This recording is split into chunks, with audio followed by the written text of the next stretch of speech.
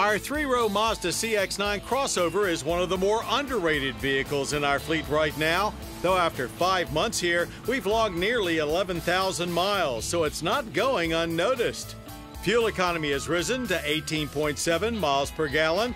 Not totally shabby for a 3.7 liter V6 with a six speed automatic and all wheel drive. Some comment on the dated look and feel of the CX9, but all love the sporty, almost nimble drive of this big bruiser and loads of cargo room.